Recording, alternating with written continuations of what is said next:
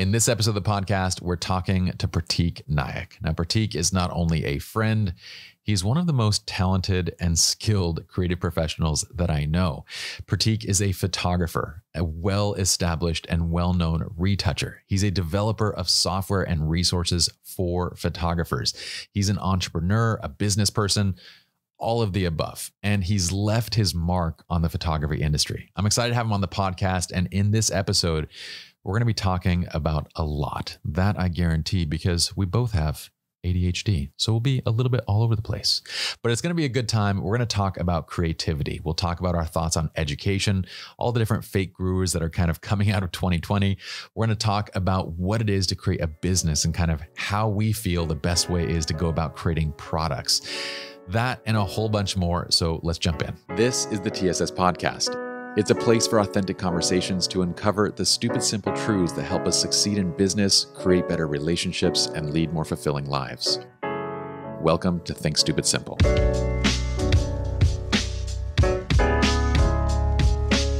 My friend, Pratik, it is wonderful looking at your face. Now, your face is actually over here. So if nice. you guys are watching the video and you see me talking to Pratik right here, it's because he's right here. So, it's because he doesn't want to look at my face. It's too beautiful. My face is strikingly handsome. It almost like I don't know if I would put your face next to your work because it almost makes your work look just not. Oh, you know, come I mean? on, that guys. If you want, if you want to boost your ego, talk to Pye every day. It makes your day all better. well, Homie, we have a ritual here. This is the content creation candle. This is a little Wait. thing that we start at the beginning of every. Really, I, do this anytime I'm creating any sort of content whatsoever. But it's kind of our. What scent is that? Is this that scent is sand and fog. Sand and fog. Wow. Very are we, are we gonna do like a, a, a seance here to to to you know bring out some good vibes. A seance is like like ohms, like om, yeah, like that kind of. We can, yeah, we definitely can. I feel like I might put people to sleep. Om. Pratik, you are an incredibly talented person. I am so grateful that you're you're joining us on the podcast, and um, I know that this platform for you is going to be different because mm-hmm. this is no longer just a photography platform. I have I don't know about you, but I feel like in many ways I have I have came, I have seen, I have conquered. No, that's not the, that's not the right way. I've, I have not conquered anything. Um, but I want to talk about more than just photography. Hence, kind of this whole route that we've taken down. Stupid Simple, the book, um, you know, mm-hmm. as well as just this Think Stupid Simple podcast. Mm-hmm. So, dude, you can talk about anything as long as it's authentic. It ah, comes from it. your heart and soul. Like I, yeah. if you have offensive opinions, I want to know them, Pratik. is this a is this like a catch? Is this like we got you? yes. This is like let's let's cancel Pratik. This is yeah. Let's get you to say something. No. This whole thing was orchestrated for me. I know. This is uh, if if anyone's going to be canceled, it's it's it's probably me. I have some uh, pretty wild opinions. Hey, tell me this um, uh-huh. before we even like what has happened to people being able to agree to disagree. Oh man, you know what? I've actually had that issue with my own platform too, with my personal page. I remember. So, for those of you don't know, I you know, me and Pye go back a long time, and he actually gave me my first one of my first I would say podcast opportunities years ago. Do you remember oh. that, Pye? You interviewed me. Oh, and, and way, way back. Came, yeah, like it was back then. And, and I still remember that because it opened up a lot for me. Yeah. And so maybe awesome. this is partially partially due to due to that happening. But um, my personal profile was somewhere that I actually would be very open and and just honest with for everything. And I'm pretty funny in the sense that I like to make fun of really bad Photoshop content and just stuff like that. yeah. But then eventually what happened was people started getting offended by even the smallest things. And I I want to be very vague about this just because I don't know, you know, who's going to be offended listening to this. don't even worry. If people, that's kind of the whole premise is like, let's get back to authenticity. Let's get back to having good conversations. Let's get back to the fact that it's okay to have differing opinions. Yeah, that's true. Like, like, so keep going. Be and and be yeah. specific.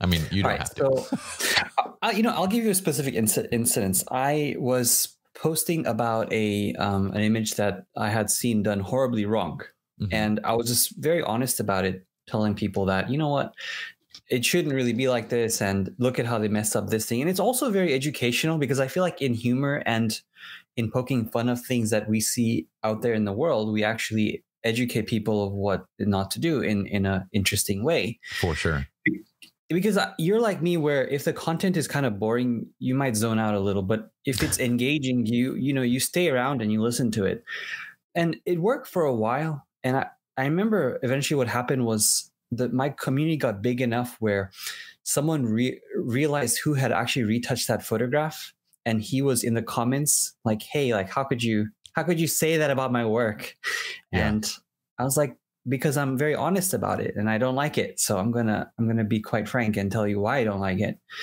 And eventually I noticed that everything that I posted from then on started getting more kickback than actual like engagement in the community. Yeah. And I was like, I don't know what to do about that because I feel like I couldn't be myself anymore, but people still wanted to follow me. So I was at this weird crossroad. Interesting. And yeah.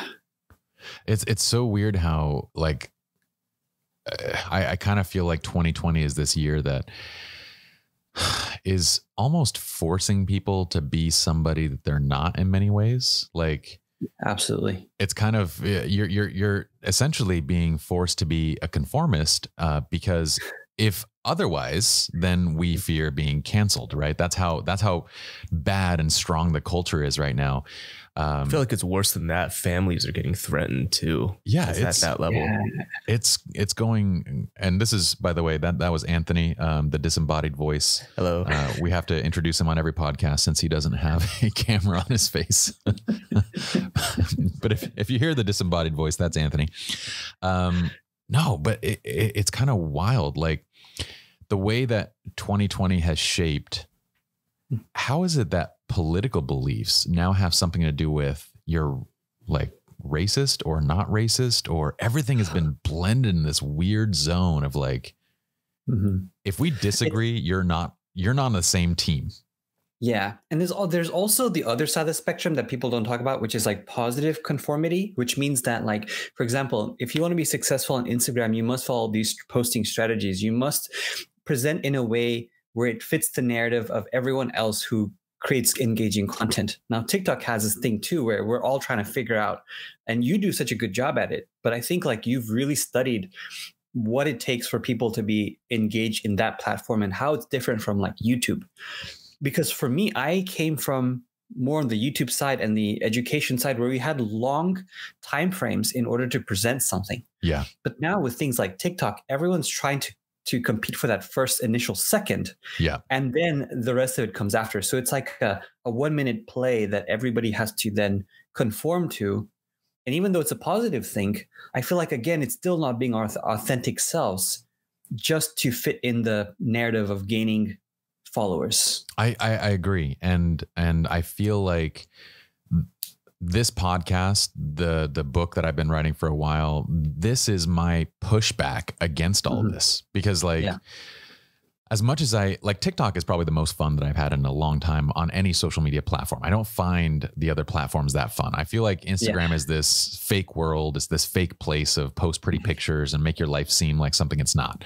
And yeah. then you have Facebook, which just feels like, you know, it's kind of it's a very negative place. Like it feeds you a lot of stuff that's just going to get you kind of going because it's yeah. engaging. Um, yeah. So I, I've had a lot of fun on that side, but at the same time, it it emphasizes the entire notion of clickbait of getting mm. somebody's attention in it used to be you have 10 seconds to get their attention on a website you have five seconds within a title your title better be enticing you better be you know it, it needs to be clickable it needs to be all these things and and now it's like you've taken that and put it on steroids with TikTok, where you have a second, like you said, one to two seconds before somebody swipes. and if you look at like, like I have taken these tutorials and condensed them down into these 30 second chunks, and I'll look at the average watch time, and it's yeah. like a 30 second tutorial, the average watch time is 11 seconds. Wow. so I'm at this place where I'm like, you know what? I want to go the exact opposite direction. I'm doing yeah. I want to do long form. I want to have authentic conversations. And and to be honest, I feel like the only place where you can gain a, good understanding of a person is through actual long form conversations. Yes. Like beyond I, 11 seconds. yeah, you can't go onto somebody's Facebook post and take a snippet out and be like, I know who you are. You're a complete a hole. You are racist. You're a misogynist. You are all these. Doesn't that sound like a massage therapist? I always think of a oh, massage yeah. therapist when I, when I hear misogynist. I'm like, nope, not massage therapist. That's different. I feel at peace already. but it, it's it's frustrating, dude, because you are more than simply a uh, you, you know like your Photoshop critique. Hmm. You're more than just being goofy and poking fun at something, but yeah. that's what you get consolidated down to, right? Through it's these like typecasted. Platforms. Yeah, it's like actor typecasting. And even with you, you know, it's that's 11 seconds are on already somebody being engaging.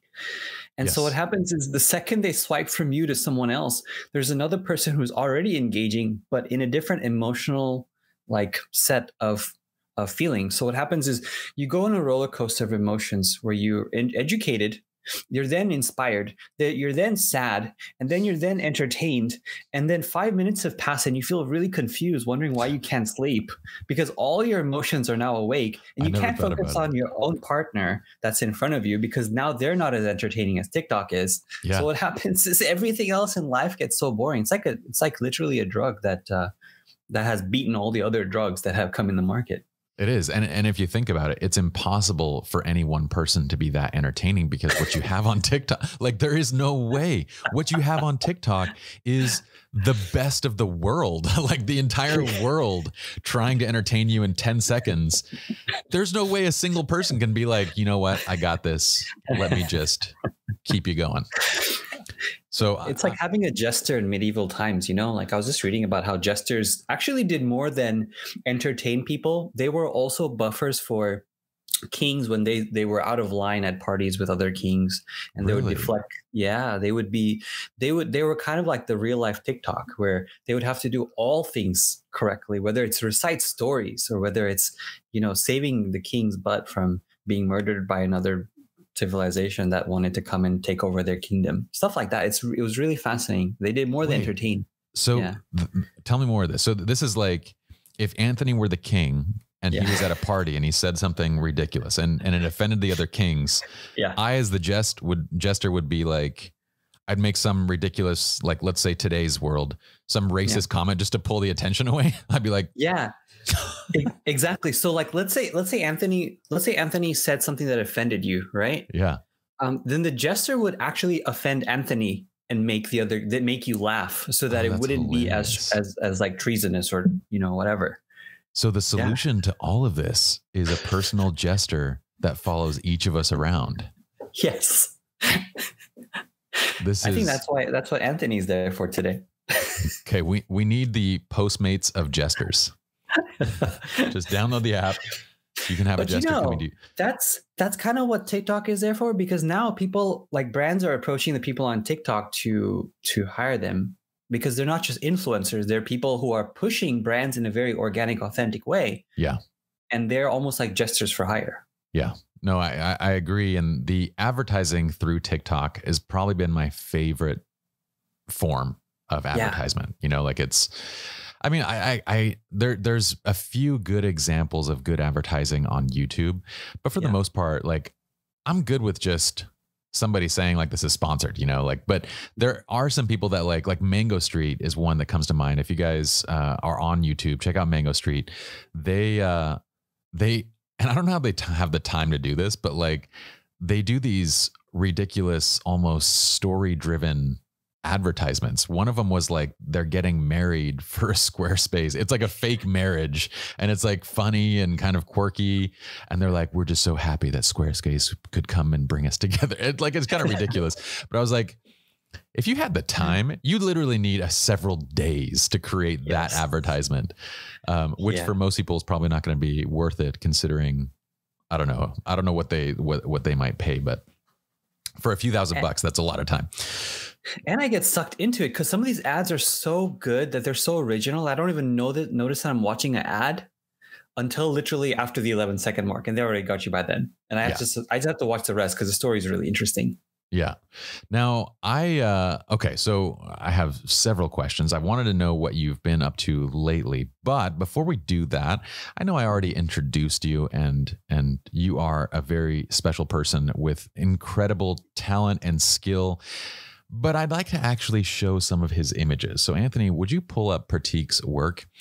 Um, so, you are a photographer as well as a retoucher, on top of that, an educator and a developer of artistic oh, tools. Oh, no wonder I'm so tired. it's a lot of things, but just look at the work. I mean, it's an incredible body of work. Uh, a lot of these you shot yourself, right? Is this all uh, images that you've shot and retouched? So, so, these are the ones that are retouched for my clients specifically. Okay, these are specifically then, for clients. Mm-hmm. Wow. Yeah. yeah, it's incredible. And then where could we see just your personal work? Uh, my personal work is mostly on Instagram. If you go to Shot by Pratik, um, Shot by P R A T I K, and this is also my retouching Instagram. But there, you go. yeah. So Solstice Retouch is your your client work, right? Right. And yeah. This is your personal work. I mean, it's it incredible. Is. Like your photography is incredible. The retouching, the how how long are you spending on a typical image? Like like one of these, any one of these retouches. You want to hear an interesting story? And this always shocks people, but then they're like, first it's like shock. I'm going to call it shock and awe because first they get surprised and then they get educated and then they try it out. So, no, I, I, really haven't told anybody this in like a public setting so far. So you're going to be the first person yes. to hear about this. Um, but for my personal uh, photography, I actually retouch everything in um, WebRes. I don't do the full res for most really? of my work. Yeah, and I'll tell you why because everything that I've done so far, or for my particular circumstance, because my personal work is mostly personal projects and things that I'm delivering to to people that I'm working with uh, on a on a like a trade level, basically. For those images that don't need to go in print, I do them all in WebRes because they primarily end up online. Interesting. And and what happens here's here's the positive things about this. Now, what happens me, is real quick. Let me for the people that are not photographers, uh, let me explain that uh, web res is essentially lower resolution. So Pratik is you're, you're saying that you're you're basically editing these images on lower resolution because they're specifically going to be used primarily on devices, right? Versus high resolution right. that needs to go into print. Exactly. So they're either going to be used on Instagram, they're primarily going to be used on, um, you know, like our post- social medias, websites, uh, mobile, and they ne- they rarely go into print. Wow. Okay. So yeah. and and the reason for this is is a I get a lot more images done. Yeah. And so I'm able to actually give the model and my the people that I'm working with a ton more images. And because of that, they actually post more of my work than anyone else's because they get to pick and choose their own favorites as well. Oh. And that gives me oh. so much traction from their communities. It just yeah. flows back to me tremendously. And That's I have so more content to post. And if somebody then, if I get the question a lot that says, if a, a model that I'm working with or a, a client that I'm working with, if they want something for print, then what happens? Like, yeah. what do you do if you're like, hey, you know, please send me the high res? Yeah. Well, in those small circumstances, I'll do the high res because it's still, I still net a, a time savings of like 90%. Interesting. So, so, tell me this what is the difference um, from, because what you're essentially trying to prevent is when you load up an image at full resolution, these cameras today capture ridiculous amounts of resolution, like 40, 50 yeah. megapixels is very common. So when you load up a high res image, you see every single detail, pore, flaw in the face, all of that stuff. It's all captured right there. Yeah. So you're editing at a lower resolution to kind of prevent from over editing, right? So you're not you're not essentially editing too much, editing things that nobody's going to be able to see because it's just on an iPhone or on Instagram or whatnot. Yeah. But what's the difference between that versus just editing the full resolution image, but mm-hmm. scaling the image down small?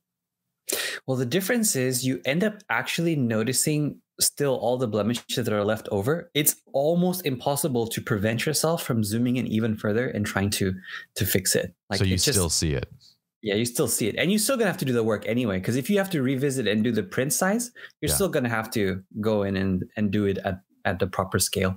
Interesting. That's a great yeah. little time saver right there. That that is a, a stupid simple time saver. that is yeah. A, that's awesome. And okay. Of, of course, this is not related to things that you might have to print and you know you're probably going to print. But you know, the test shoots that you do, the stuff that you do for fun, you know, don't don't water it down by wasting so much time because A, we don't forget a lot of the stress for photography comes from the fact that, oh, the shoot's done, you had a lot of fun, but now you gotta go and edit those photos.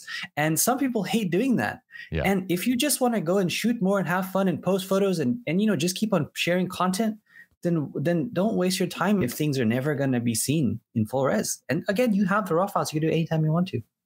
That's a great tip. Now, mm-hmm. Anthony, can you go back to his work? I have uh, I have another question for you. Yeah.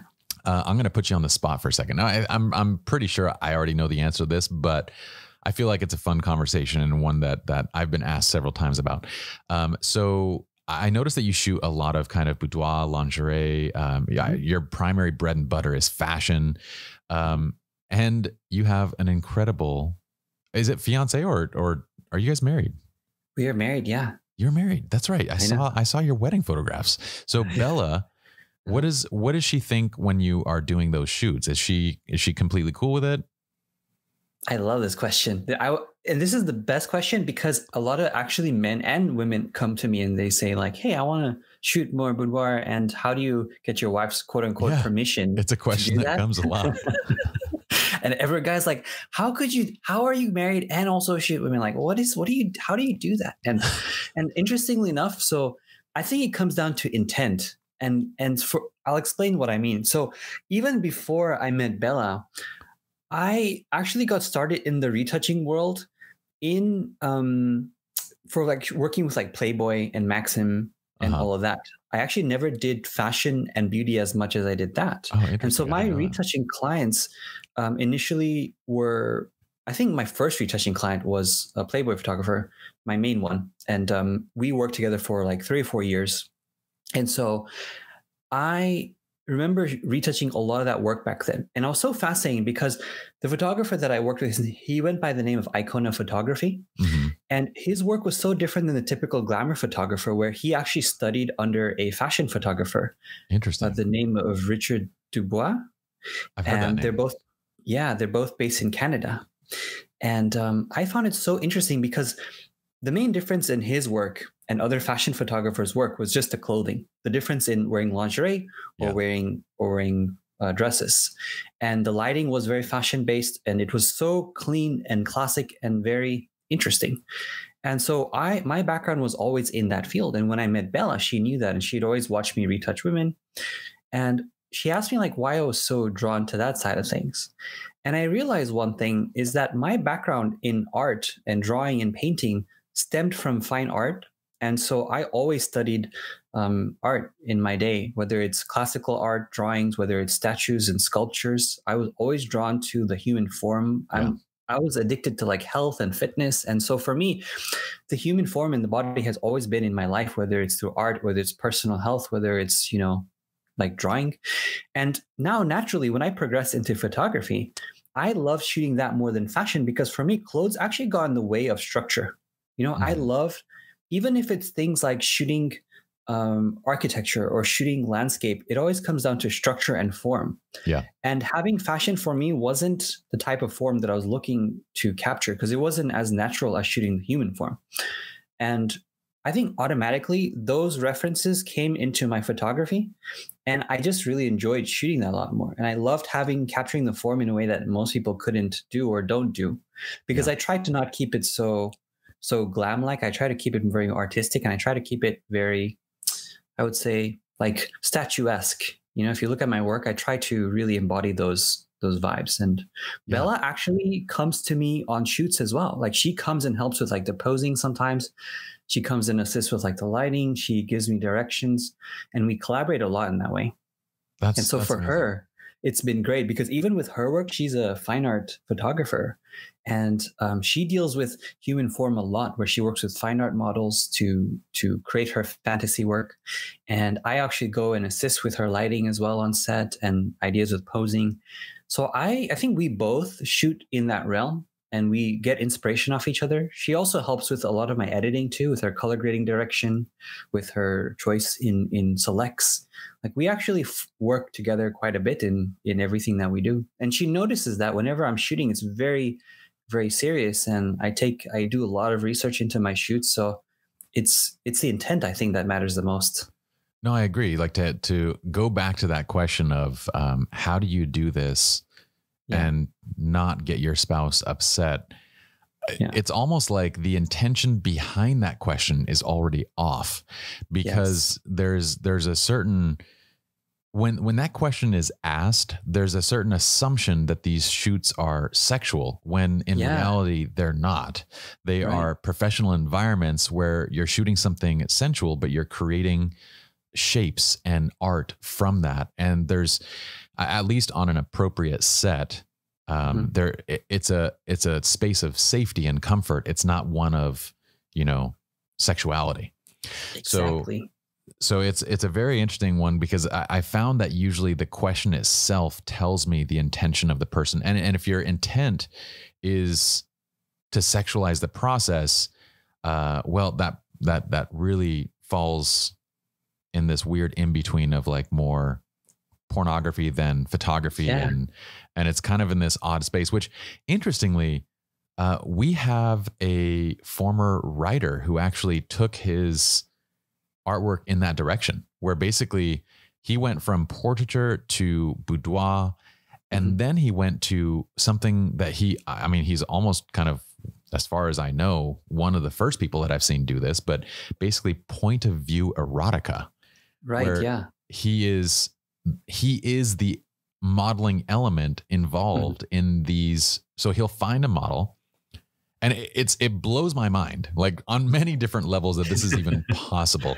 and uh, i'm not going to specifically say the name because i don't even know if it's legal uh, right. like what it is but yeah. um he's essentially like like his own actor in porn like right, it yeah. is it is erotica but it's I, I would say that it is more tastefully done than than most anything that you would see, but it is it is erotica. Now the question that I have is what's the difference between mm-hmm. prostitution? I'm going to ask you this question. Here's how we are deviating here. But it's such an interesting thing because like you it, it's illegal to go and say, you know, give me a hundred bucks and I'll have sex with you. But mm-hmm. it's not illegal to say, give me a hundred bucks and I'll take your pictures while we're right. having sex? like, I don't right, understand yeah. the difference between those know. two things. I think the difference is if you pay taxes on it or not, I guess. Do you pay taxes? that is because that's what a lot of the industries that's what it's kind of like, right? Like you, you know, it's all filmed and everything, but you know, if there's any monetary thing, they're all incorporated and everything. So like that's what's so odd about the porn industry is it's yeah it's it's legalized. prostitution, but if you're filming it, right, it's okay. If the government knows about it, it's okay. I, yeah, I think it's because they classify under entertainment. It's like yeah, what it is. It's just you're right. I mean, why doesn't every person that wants to be a prostitute classify what they do as under? Like, I mean, that doesn't make any sense to me because it just doesn't make any sense. Like, it's it's you either allow it all or you don't. That's true. And I agree with that. Like I think it should be legalized. You know, like it shouldn't be something that is is looked down upon just because of the intent or the the the platform that it's appearing on or whether it's private or not. And in fact, it should be the other way around. If it's a private business, it's between two consensual people, then it shouldn't really be an issue. In many, you know, many places it isn't.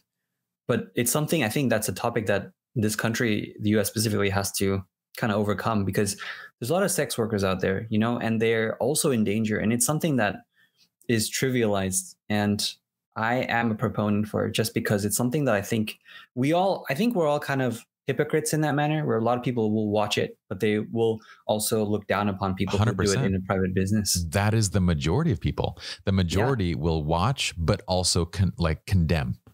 And right. it's, yeah it blows my mind. And the same thing, and I, I, you probably didn't expect to hop onto this podcast and talk about this, but that's why it's fun. So exactly. But I'm kind of along those same lines as as far as like all of this stuff should be legalized. I mean, from mm-hmm. from drugs to prostitution, because when it's not, Right. It's so much more deadly. I mean, you right. create these entire black markets where now it's no longer safe. It's no longer anything. It's mm-hmm. it's it's condemned. It's all these different things, and it, it it's crazy that ten years ago, if you wanted to get, I mean, not even ten years ago, if you wanted to get a joint ten years ago, mm-hmm you were i mean uh, when i was in high school if you wanted it not that you know i was pursuing this stuff a lot but i knew that if i wanted to get any form of drugs in high school i would have to go to some shady back alley deal you know deal with people that had guns deal with people that had all sorts of stuff uh, just to get that. Now you can freaking hop onto Grassdoor or it's essentially the postmates of of weed delivery yeah. and have it delivered to your home within 30 minutes. These these mfers will get you your weed faster than mcdonald's can make a sandwich. Like it is true. It, it's insane. But that's the difference of, to me, this whole notion of like social condemning versus mm-hmm. like opening up something. You can make something safe and and and you can make it you can draw tax dollars from it. You can do so much, make it an entire industry. But it's this weird perception that we have things like why would alcohol yeah. be okay, but you know marijuana not be? Um, mm-hmm. And to me, it comes down to Pratik, is it not the job of parents to teach their children what they should and should not do? Well, we've seen how that goes, though, haven't we? well, it's like it's like parents. Like, I mean, yes, theoretically, but then like there's so many parents who are also not good parents in terms of teaching their kids because they might also socially be in the wrong too, like having an understanding of what is right and what is wrong. Like they were also taught the wrong thing. So then what is the answer to that? Like what about parents who are just not good at teaching the kids the right thing to do. It, the the solution can't be let's hand it over to the government Definitely and not, to our no. educational institutions. Let's let them decide for us. Yeah. The, like in the home, I have four children. Mm-hmm. I'm not scared of them going and doing drugs and going and doing these things because we talk about it in the home. Like we're, we're right, discussing these things openly. Uh, mm-hmm. and, and where there's this, I almost feel like where there's this thing that is forbidden, it mm-hmm. becomes that much more tempting, right? Yes. Like if, if something's illegal, if something's not, you know, but if it's in front of you and you're like, yeah, you could have alcohol or you could have a, a cigarette or you could have whatever, and your parents talk to you about it, and you're like, yeah, but that's kind of dumb. Like you shouldn't be doing that stuff. Yeah. Like this is why it becomes this easy decision. And if you do decide to have something, you you can moderate yourself. Exactly. And also it's kind of like the speed limit or like when you're right, when things become illegal, there's studies that show that typically usage does go down a lot in yeah. terms of once it does become legalized. So I, I, I wonder when when we'll get in this country where things like that are legalized because we're so slow at everything. Like even even things like internet speeds were really slow in comparison to other countries, like getting that up to up to spec compared sure. to what everyone else is doing. So it'll probably take a really long time for us to. Do I like anything. that you compare it to internet speeds. Yeah. Like, let me let me throw in this one really annoying thing: internet yeah. speeds. I was like, yes, I did it. That's my Easter egg in this podcast. That's my Easter egg. No, I I, I feel like it's going to take a long time because so many of these different uh, concepts they get politicized and used as platforms. I yeah. mean, this entire war on drugs. What was this Reagan's thing where it just got? Mm-hmm it becomes part of his whole thing that he creates this everybody is now for Reagan because he's against the war on drugs. And then we're 30 years deep onto this war that we're losing mm-hmm.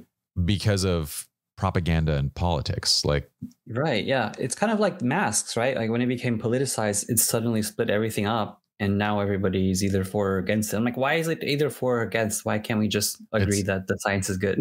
Identical. And I and I, I feel like this going back to kind of like this is what makes it not okay to have disagreements anymore. It, it's what it's what puts us into this. You're either on this side or on that side, and in, in reality, it's more like, well, there's a middle line.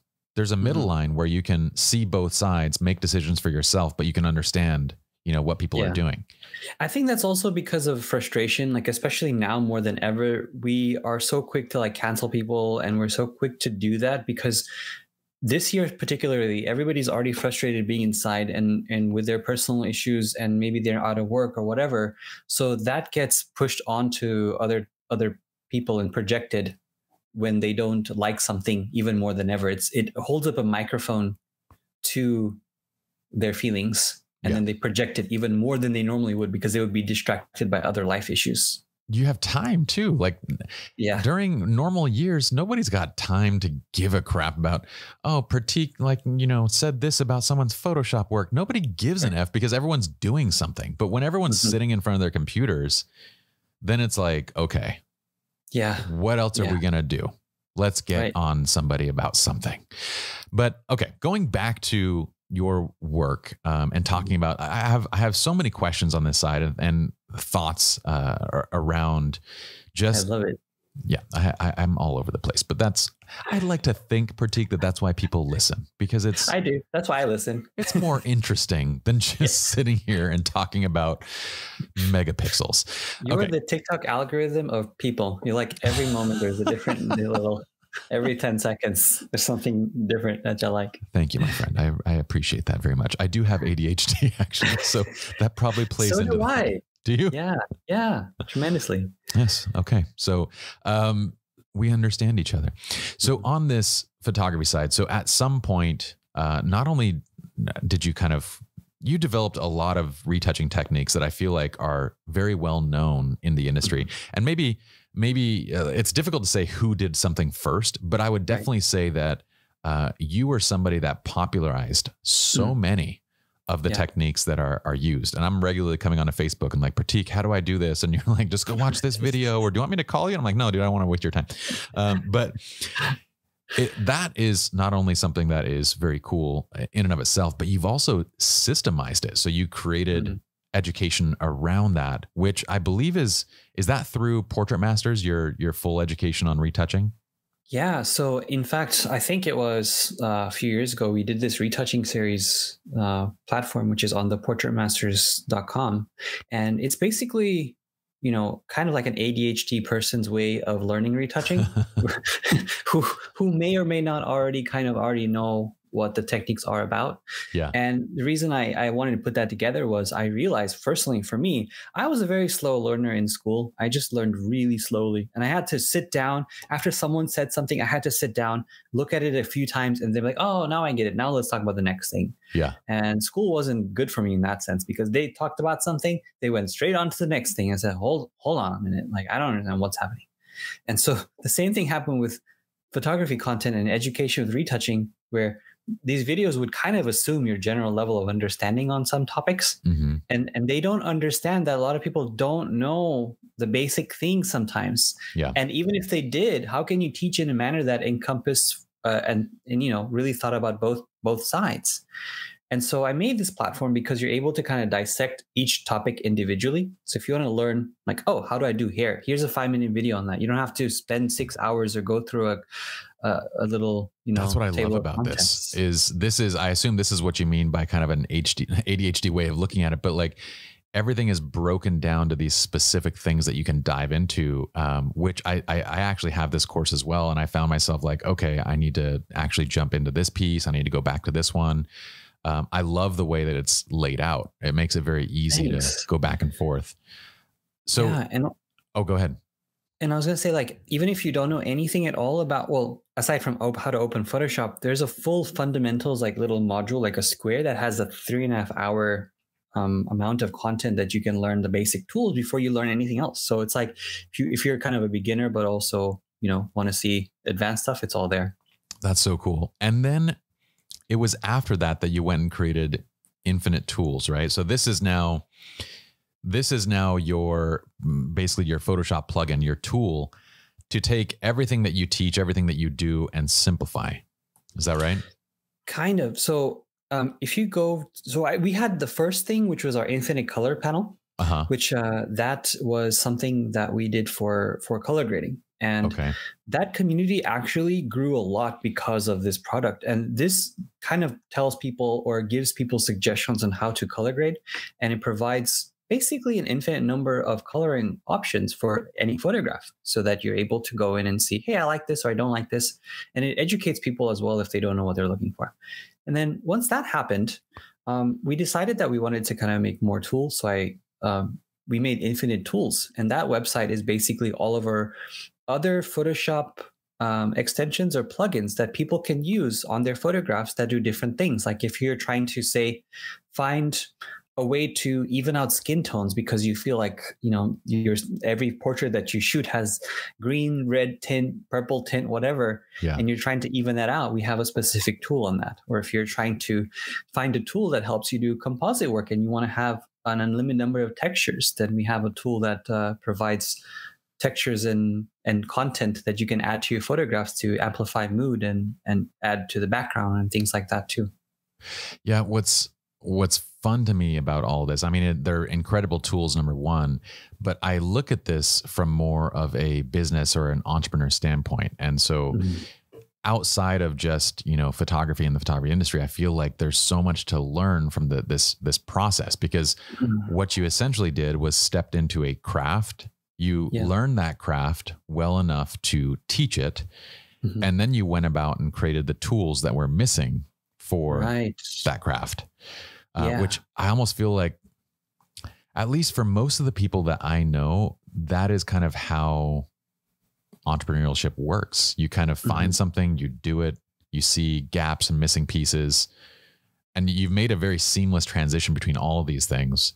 So uh, I don't know. I, I love stepping back and kind of looking at that.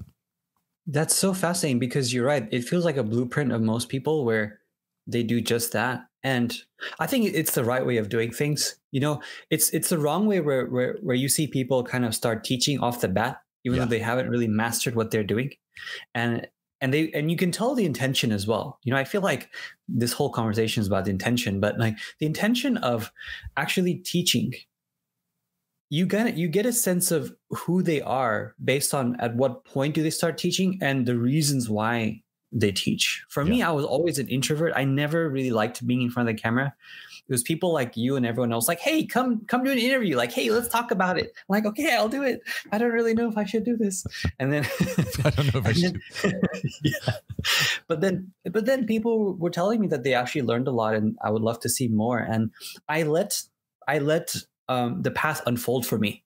Yeah. I think a lot of people try to carve paths that don't exist and really, really tr- struggle at it because they're not getting the traction they need. And sometimes that's for a good reason. Sometimes the traction's not there because maybe it's too premature. Maybe it's something that you need to come back after a certain period of time. Maybe you need more time to figure things out. And teaching was that for me. You know, yeah. I retouched for a long time. Then teaching opened up because it did it, it did so organically. And then because of teaching, I started to listen to people and the gaps that they had in their work. And I was like, wait a second, why doesn't this exist yet? And I kept searching for it and there was no answers for years. And it just kept coming back to me. And I said, wait a second, I need to eventually do something about this because if no one's doing something about this, I should do it. And retouching was that for me too. When I started photo retouching, I started it because there was a gap. And I noticed it because I, I saw magazine covers that did not look good. Yeah. And I knew they didn't look good. I had the aesthetic for it because of my art background, but I just didn't know how they were doing it. There was no education. So I said, I'm going to learn it A, and I, hopefully they like what I have to teach and why. And then the why stuck. The why came back to me, and people were like, "Why are you doing this way? Why why is there no information out there?" Then I said, "Fine, there's no information out there. I'm going to be putting it out there," and that's how this whole thing happened. Yeah, this this reminds me of um, I, I have said this a couple times, but I feel like 2020 is going to be the year of the birth of a whole new generation of fake gurus. yeah. Like, do you not see this coming? Like, like 2021 is going to oh, be man. this explosion of come online. I can teach this. I know this. I have mastered this. I've figured out how to make seven figures. First of all, when somebody says, I have learned how to make seven figures. The first thing in my mind is like, well, mother effer, maybe you should just go and do more of that then. Because like, yes. like, why are you here? Why are you make here? figures. but I really am passionate about teaching you how to do yeah. the same thing. And. What you're what you're hitting for me is inauthenticity. Mm-hmm. It's this like I don't see an issue with when somebody starts teaching, right? I will fully admit that I probably started teaching before I knew much. And and honestly, I think every educator makes the mistake when they first start educating that they feel like they have to be right. I kind of feel like, you know, the the more you learn, the more you're like, yeah, there's a bajillion ways to do different things, and I shouldn't be so hard headed and thinking there's only. But at the beginning of something, you're kind of stuck in this like there's a there's a word for this. Uh, there's a phrase, a psychological phrase for this that I forget. It's some some effect. But you think you're for lack of a better word, you think you're the shit. Like you're like, okay, this is the way it's done. Right. In the beginning. And then you start going down on that little on that bar graph and then you go up again at the end or something like that. Yes. Yeah. You start to kind of come to realize that holy crap. As you learn more and you become better, you realize how little you know. And your yeah. teaching style evolves with it. You become mm. more understanding and and more like like I'm okay to be wrong. This entire platform, this entire podcast is like I'm not married to any of my opinions, anything that I have. Like, I will shape anything. Uh, yeah. And I feel like that's what it means to kind of be an intellectual person. But mm-hmm. when I started teaching, I will fully admit that I did not know enough to be teaching necessarily what I was teaching. But the reason I started teaching was because our own people needed education. So, our yes. own team members in our photography company needed education. And I thought, well, why not just create that and make it available to other people too and it mm-hmm. kind of began to grow and it, and it was like i'm just trying to fulfill our own needs because the education yes. that we needed did not exist yes. so that's how we got thrown into it and now if i if i go back and i listen to my earlier stuff and i'm like let me show you the right way to do something i'm like man shut the f up like there is no there's many right ways but and i think that's why for you um it, it was so successful because even me like i i watch your stuff too because a even if i feel like i know a topic i'm still going to watch your content because the way you present something i will still learn things i might have not learned in my foundation. So when i was first learning about photography you know we end up skipping some of the basic steps because we're so rushed into getting to the advanced stuff. But the way you teach it really encompasses and keeps in mind the people that might not know all the basic things that they need to know. And it's done such a nice way where you can see that your intention by is also not self-serving. It's actually meant to help other people. And you can tell that when you're talking. You can tell that your passion is actually helping people because you do that even if you're not on camera. You actually like to help people, you like to give back, and that shows. But I appreciate the, that, my friend. difference the difference with that and the gurus is that you can tell that's not their intention. You can tell how they're excited about making the money off sure. of the people that are wanting to edu- educate them and not the other way around. For sure. And and I think that like you said that inauthenticity shows through and they wind up not really making much money. Um, if they do, they're usually conning people out of their money. Um, yeah. And then they usually move on to something else pretty quickly. Mm-hmm. Uh, one of the things that you mentioned, though, like I, it, it, took me a long time to realize and to recognize that my my passion, um, you know, I, I, I don't necessarily like that word, but I'm going to say it because it's the word that we all know. But mm-hmm. it's not photography. Um, and, and frankly, like when I see people like you uh, it makes me realize that I am more a camera owner than I am necessarily a photographer. You are a very well, creative. those of you who have seen your work, I don't think they'll think otherwise because, like, even the photography you post and the challenges that you do, especially with like Lee, that's really cool to see. I, I mean, it's like that. I, I, I, I can take a decent photograph, and I have developed some skill in that arena, but mm-hmm. I guess my my underlying passion is really frameworks. I like creating education that's relatable and easy to understand. Yeah. Um, I started this in language and then it mm-hmm. became, uh, it was originally in Cantonese and Mandarin. I wrote books around how to study. And then it became photography and teaching people photography and then business and you know the the kind of editing that we do, not necessarily retouch and beautiful stuff like you're you're you're doing. Um, and then into like sales and then eventually like realizing, okay, what really drives me is hmm. frameworks. It, it's taking something complicated and breaking it down in a way that anybody can understand it, making it relatable. Yeah. So it, it but it's weird though because it, you from the outside, you you would just think that somebody is you know a, a, a photographer. Or when people look at the the work that I do, they say things like you're you're skilled or you're talented in, in something. And i'm like not really. It's kind of like just time hard work and and i really right. like frameworks um, that help me to like come to these places. But i see the same thing that, that you're doing much of the same thing developing your own frameworks and then tools around those frameworks. Yeah that's a good point because for me it's the same kind of end goal is i like co- communities and platforms more than i like even editing and i love editing. And retouching is definitely still number one. You still love comes, retouching. Yeah the most yeah. like out of everything. And then it comes down to inspiring. I think if i can if i can take someone and inspire them, motivate them to get off the couch or to make an additional sale or to actually get better at their craft. It's such a fulfilling thing for me because even during when I am sad or when I feel like I'm down, I need to go and help people. Like it's just a natural innate thing where yeah. It's such a weird thing because when I want to help people, I do it because it gives me satisfaction. Yeah. So in a way, when you think about people who like to help people are also selfish, but in a positive way. It's like sure. selfish, positive selfishness. It's you know? it's not necessarily altruism. It's it's yeah. you appreciate it for yourself. Yeah, like I really enjoy seeing other people get helped and and seeing what they do with it. It's giving yeah. me so much satisfaction. So yeah.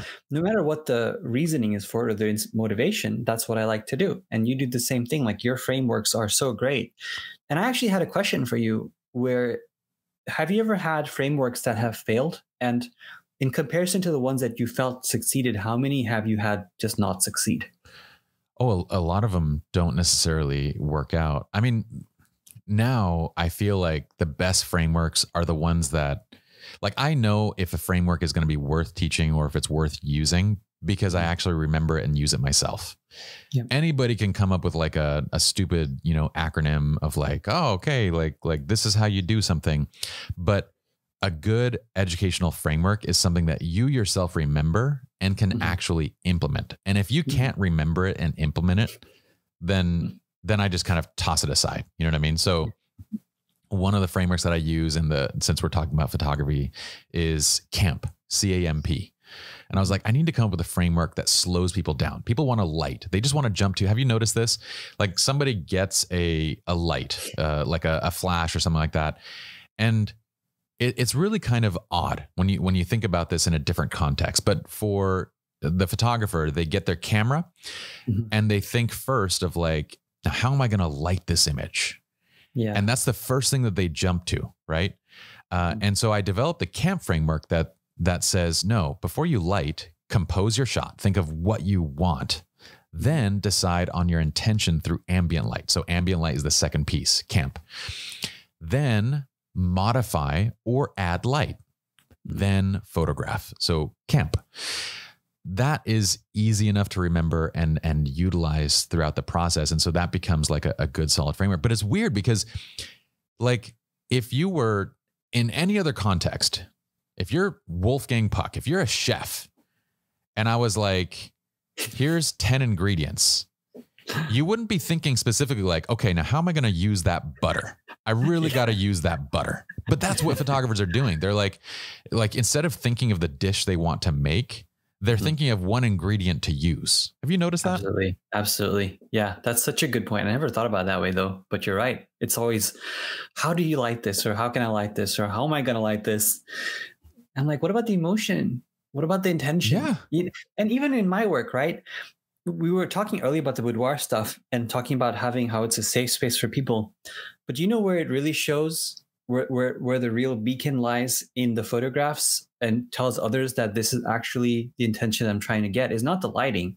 Mm-hmm. It's actually the body language. And so for me, when you see body language that's done properly, you see things where the hands are more delicate. You see the like for less sure. tension in particular muscle groups than others. For sure. And that in a subconscious way without seeing the face or without even seeing the expression tells people or tells other women for that matter how natural and authentic that environment was. 100% and when you when you get the lighting right when you get the color grading right when you get the retouching right all that won't matter if she looks uncomfortable even without seeing her face. Because sometimes you know there may be good actresses where their faces might be looking normal but their body language looks off. Yeah. and women will catch that really quickly Yeah. And there's there's no working around that. You have to be a genuine person in that environment. You have to make them comfortable. You have to be friends and you have to, you know, provide that. So intention is is everything. So lighting is definitely something that's great that we all should know, but you're 100% correct. Everything else should be the considering factor before all that.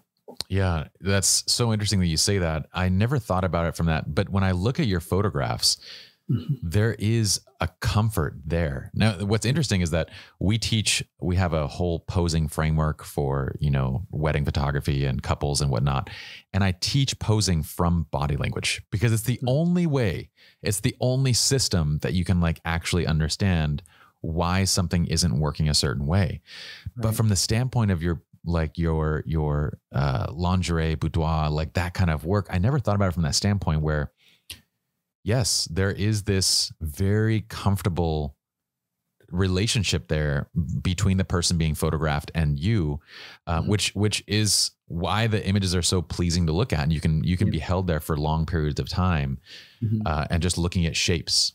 Yeah. And there's a, a, clear difference in that intention versus right. anything else where that that that safety like the the the environment is not the same thing. And I would say if to go back to this question, one of the things that you you hit on, um, which is worth emphasizing, is part of you creating a safe environment is having Bella with you. I think that's a yeah. very important piece for guys that are photographing uh, women.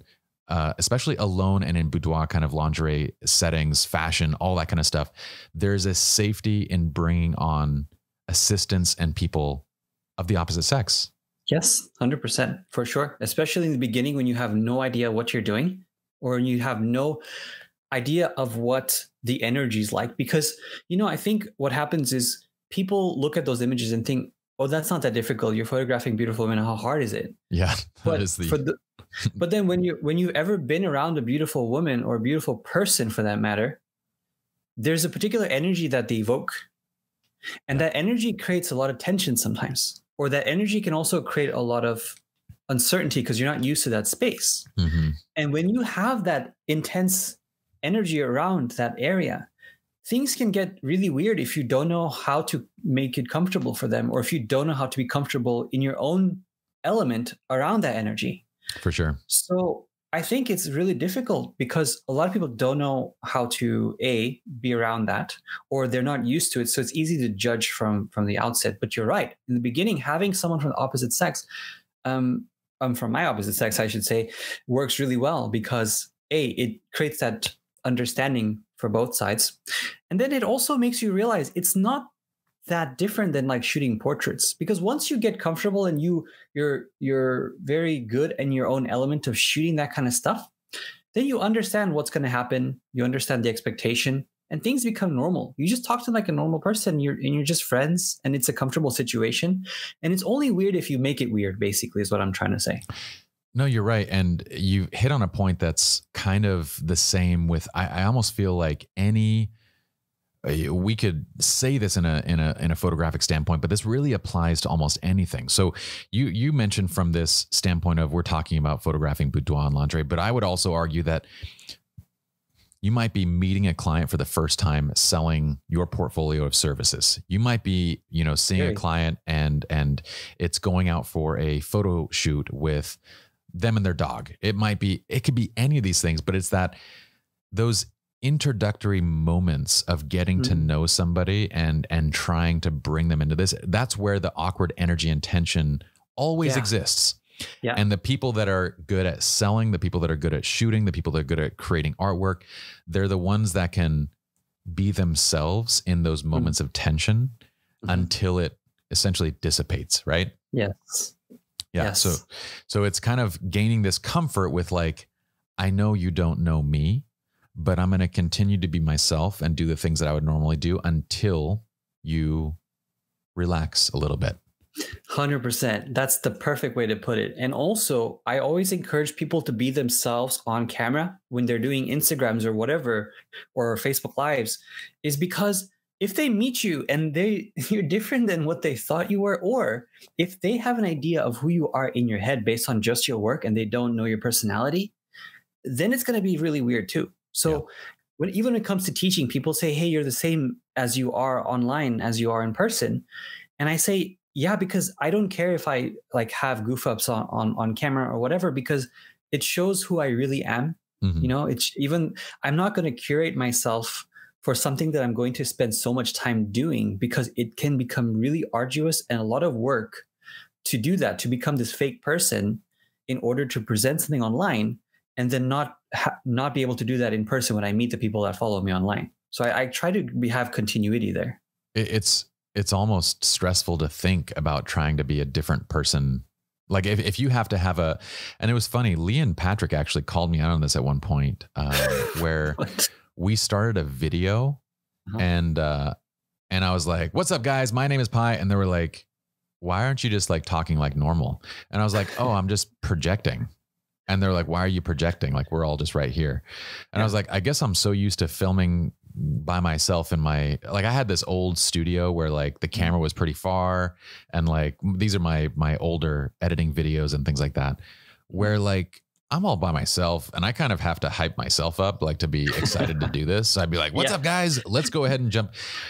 And uh but as soon as they said, I was like, you're right. Like, this isn't that. And I don't need to speak and be anything other than just who I normally am. And it kind of, yeah. it was a great moment. But then I've seen, I've seen people take this to an extreme, dude. I was working with uh, one of my friends and he was, there's all these crazy personalities out here in, in Los Angeles, as you know. Mm-hmm. Um, but they have this, um, there's this one YouTube channel I'm not going to call them out on this, but I'll, I'll, I'll, if you watch their videos, it's just uh-huh. the most ridiculous, asinine stuff in the world. And I think they're going for like kids and like teens watching this thing. Oh, wow. Uh-huh. But it's a supposed married couple and they just do wild stuff, weird mm-hmm. breaking iPhones, like all this, like, oh, this is this. And it's this show. And, uh, they're completely different in real life. They're not even like really a couple in real life. Wow. And I'm like, man, how stressful is it to live two separate lives? Yeah. Just to make a living kind of thing. Yeah.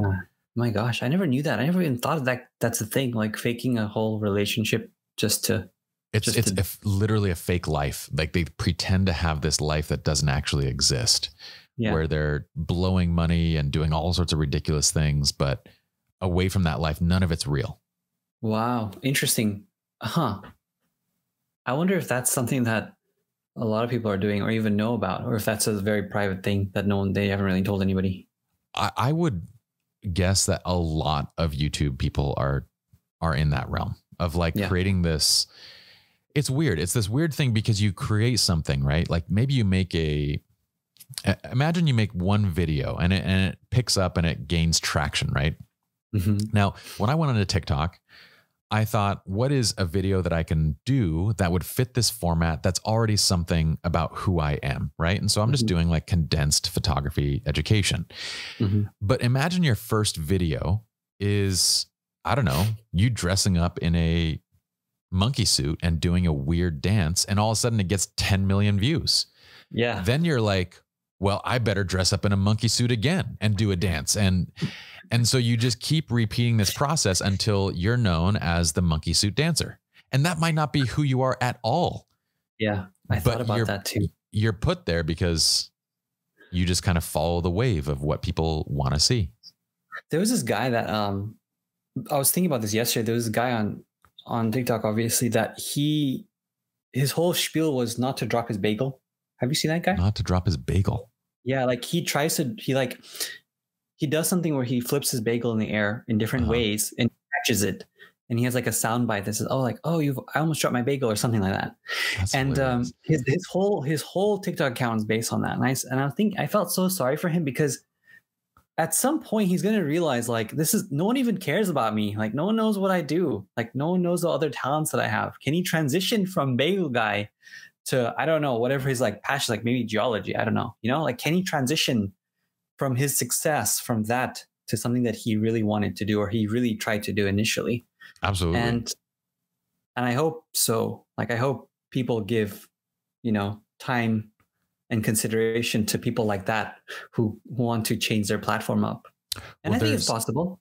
I think it's possible, but there's a lot of people that are falling into that exact same hole yeah. on TikTok mm-hmm. where like they get some viral it's a super interesting psychological phenomenon. And being a, a, student of psychology i'm a student of everything but a student of psychology like i'm looking at it like man these people i sure hope that what they're doing is actually something that they enjoy because they're getting locked into it. There was yeah. one account uh, angry actions and it's this guy one yeah he's a great guy. Like he, he looks like a genuinely cool guy and i know that guy yeah. But you can see this you know he he gets popular for these angry but like kind reactions to things right? Like he's like, like a nice guy. yeah angry loving reactions. But then he starts posting about how he keeps meeting these people in real life and like everybody just wants him to do the angry reaction stuff in real mm. life. It's like you meet the bagel guy and you're like hey can you toss a bagel for us?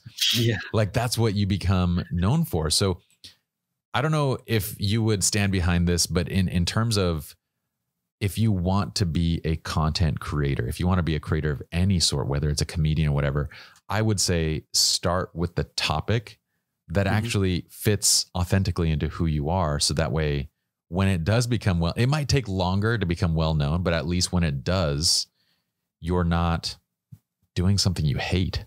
Absolutely. Yeah. You're not just a viral hit for one thing and you carry the trend on. And have you ever felt that way with your with your platform, like with SLR Lounge? Have you ever gotten to a point where you're like, man, I wish I could take a break from this and do something else entirely? Or how does have you ever We're had that there right now, brother? We're there. no, I mean, like I I enjoy photography, and I think it'll always be a part of who I am and what I do. Mm-hmm. But it's such a small piece of who I am that people don't yeah. realize. Yes. So I'm like, you know what? And and I kind of feel like you have to have I can't just go and create a podcast or some new platform and be like, I'm known for this now because yeah. I haven't established myself in that, right? So my first step to deviating was actually thinking, what do I want to, what do I want to do? And I was like, mm-hmm. I want to write something. And I was like, what topic am I most passionate about? And it was relationships. And I'd spent over a decade studying and I'd, I don't, I don't think I've actually told this is a first for me on the podcast too. Wow. So, um, the this book, Stupid Simple Relationships, is a case study. So it's a it took about 10 years because it includes case studies from all of my clients. So you, an interesting thing happens, Pratik, when you when you hold a camera. When you have somebody's trust and you're holding a camera, they will actually behave naturally. Now, mm when they go into a counseling office, you know, because their relationships are not functioning correctly, first mm-hmm. of all, when it comes to a friendship, they're never going to do that, right? You just let friendships go. You don't you don't tend to work on them. But if it's something more significant, maybe you go to a counselor. And when they do that, they speak very inauthentically the person mm-hmm. is taking notes you know that this counselor is judging you you know that you know your your significant other is there so you present the version of yourself that you think is okay to present right yeah so I thought this this is super interesting because I was going through this divorce struggle, um, marital problems for 15 years, and then eventually divorce. And I was like, I think wedding photography and my clients is a place where I can actually learn from. So mm-hmm. over the last decade, I started documenting anonymous data. So just taking a couple, giving them a fictitious name, and then writing down nuances of how they interact with one another. And I had about 500 of these four or five years ago. And I was wow. like, I think I have a book here. Wow. And so I developed a framework for not just my whole argument is that a romance, a business partnership, a friendship, a family relationship, they're all identical. They vary in intensity and mm-hmm. obviously intimacy. But yeah. outside of that, they are all identical. So the entire framework that I present is just how to have better relationships. So my stepping out of photography begins with I'm going to establish some level of authority mm-hmm. first and then say now I'm going to speak on more subjects. But I don't think yeah. you can just deviate without having that thing to say this is why I'm going to talk about other things. Does that make sense? Like you have to have something concrete and a, good mission statement effectively to to get go forward. And also yeah. how how can people get this book? I'm very curious to read it. So it's going to be released in 2021 oh. I'll, I'll, send you though a advanced reader copy if you'd like one. Oh my gosh yes i would love it. Because i i kind of in the same mindset as you where i really enjoy just studying people and different thought processes and how they operate. And I've I've wondered that, but I've never I've always been kind of scared to say something like that because I never really had enough basis to to say that. Like having how all these different relationships are kind of the same but yeah. different intensities. Yeah, that's really fascinating. It's a good premise. So that's the uh, yeah. So it's it was a fun process, but I think I very much to go back to your question. I've I've gotten tired of the photography conversation. Number one, yes. because I feel like photography is so much more than what people make of it. You know, that's what, yeah, it's getting cons- watered down more than ever. Yeah. And the consumer, you know, when they come into this area or, or a new photographer comes into this area, what they make of photography is camera and lenses and flashes. Mm-hmm. And you know this, what photography mm-hmm. actually is mm-hmm. is none of those things. Yeah, absolutely. I mean, it's psychology. It's getting your client to be comfortable. It's it's human interaction. It's formulation of concepts and and planning and preparation and and visualization and it's yeah. none of those things. Or or when you get the when you get people who say, I don't know what concepts to shoot or I don't know what to shoot next. Yeah. That kills me inside because I, I want to kind of wish for them to develop a framework in order to create concepts within themselves or to look within and figure out what it is that they want to shoot. Like, is there a process in which someone can go through to figure out what it is they genuinely want to shoot without asking that question outward? You know, interesting. Uh, my my first inclination would be to copy. Yeah. Go and and go and grab 20 images from your favorite people and and go and like that that to me should be the first step should it not mm-hmm. like to to go and replicate because in the yeah. process of replicating you're going to screw it up you're going to find where you naturally want to take something you're going to but I, I feel like people ask you tell me this people ask how i can be creative how do i formulate ideas when they haven't yet developed the muscles right. like right. their their creative muscles are not developed yet mm-hmm. 100% for sure the same thing goes for Photoshop, right? Because they they'll capture a file or they'll capture a photograph and they'll take the raw file into to post production and they'll ask how can I do this or uh, how do you edit a raw file? Yeah. And for me, the way that I edited a raw file in the beginning and the way that I learned these things was playing around with it. I literally didn't look to anyone else and say, How did you actually edit that photograph? I would go and play with the sliders and say, What is the slider doing?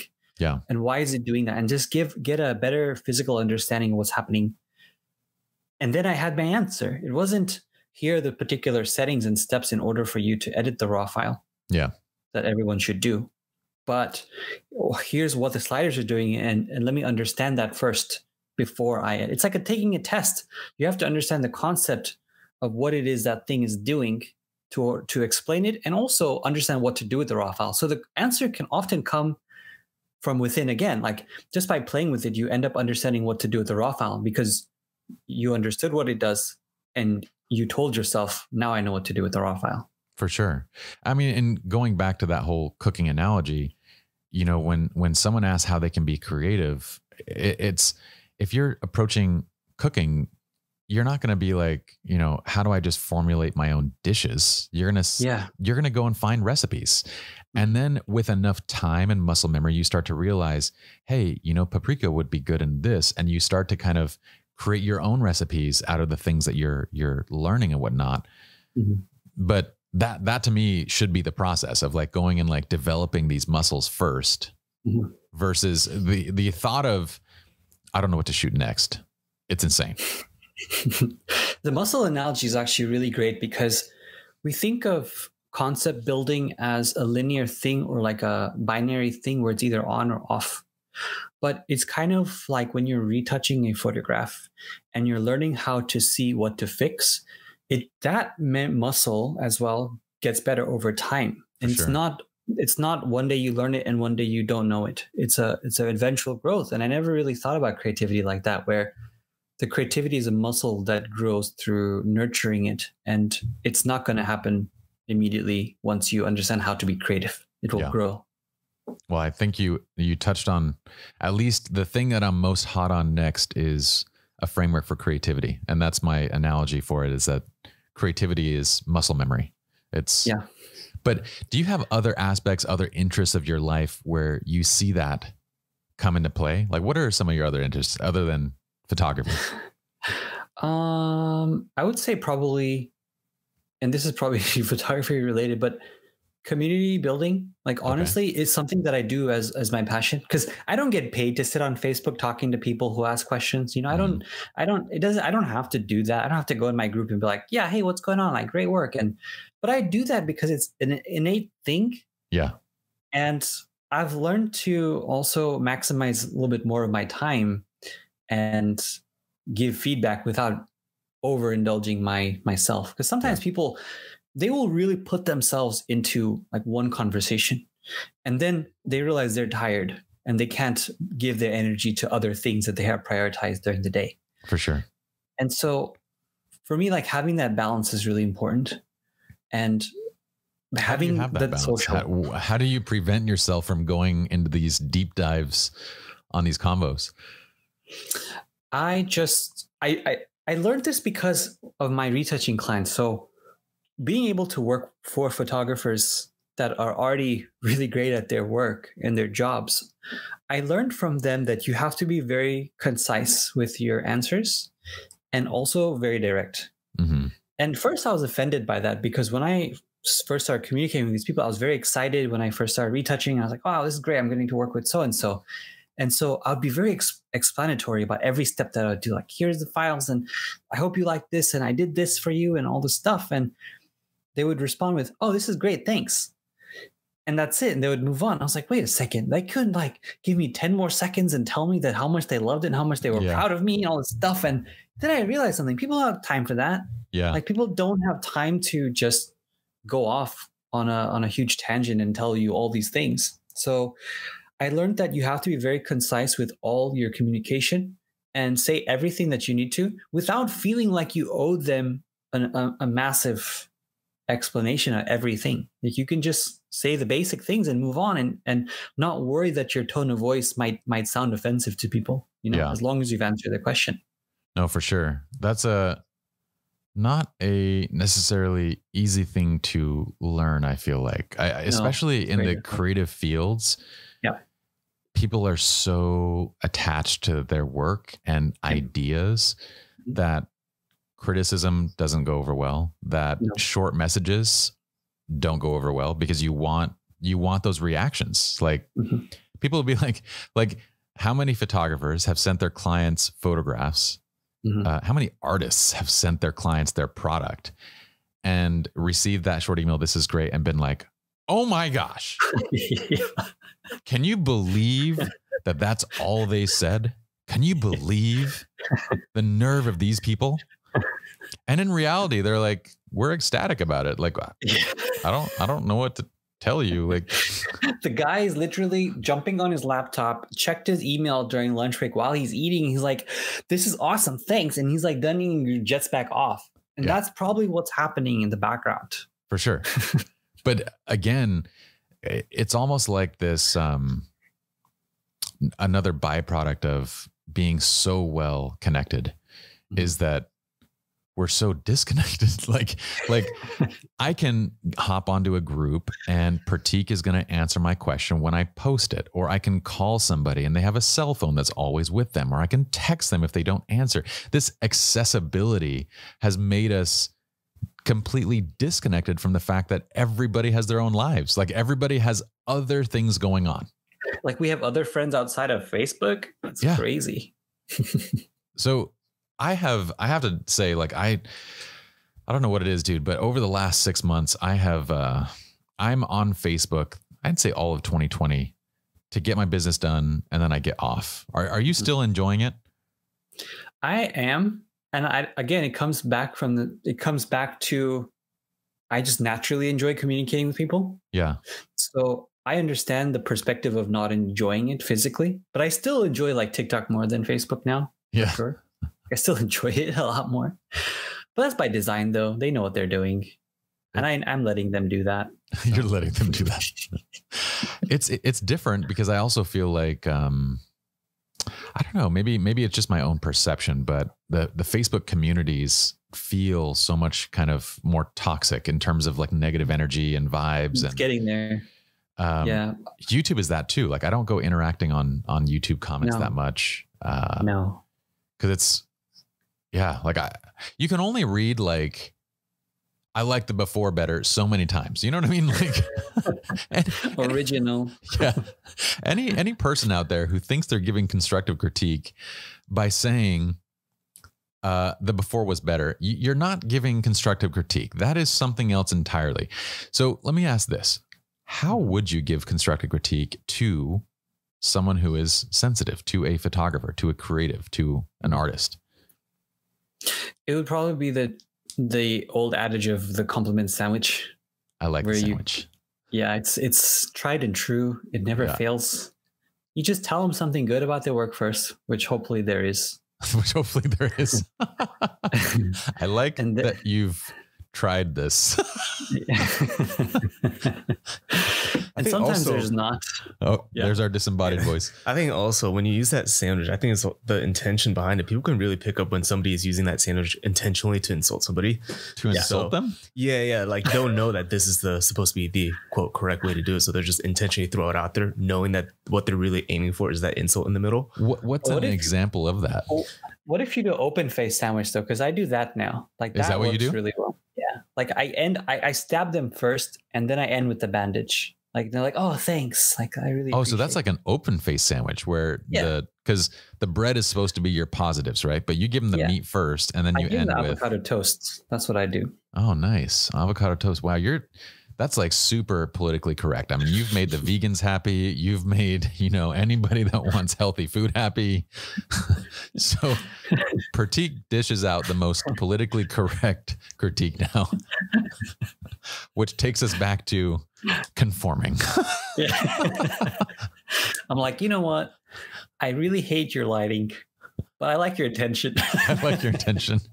Well, sometimes, sometimes when you look at a shot, because you know, I want people to ask for critique, uh, and this is in any space. Like, let, let me let me bring this back to a a business context, right? Because mm. I'll have people like friends of mine who always want me to give them thoughts on their business ideas. Yeah. So they'll be like, "What do you think about this business idea? Can you critique this concept?" I'm like, "Sure, give me a business plan." And they're like, "I don't have one." And I'm like, well, uh, you done gone effed up already. Like, like, but that's what like these a lot of people with their phones will take a picture without any thought whatsoever yeah. and be like, critique this. And you're like, you done gone effed up from the beginning because there was no thought in capturing the image. So like that's my first critique. Think about what you're doing before you like what is the purpose of this thing? Yeah. But do you tell them that though? Do you say, hey, it's crap because there was no thought, or do you do you ask them, hey, do you like what is your thought? No, like I, I don't want to like. I've had personally people say things that have very much affected the way that I've you know approached art and business and all those things. So I don't want to ever do that uh, directly to somebody. So I will say like, you know, um, I, I will literally say I appreciate that you're shooting and you're posting this. What I would say is I want you to think about the premise of this photograph. Like, why are you capturing this photograph? What is the story here? That should be your first thought. So it'll look more like that as opposed to like, you know, now we know this is garbage. but now, now anybody listening to this is like, my, that was literally my photograph. He was that saying was, it was garbage. just gave him avocado straight up, no toast. Like, just I just I love avocado, so I'm just like I'm just gonna hand you an avocado. Yeah, got its skin on still. You, you do what you it. want with it. You make the toast. you, so I'm I can't believe that we are we are an hour. You're good on time, right? I yeah. I think I warned you that this is long form, so you're okay. okay. I was like, two ADHD people who like philosophy and shit like that. How how how short can it be?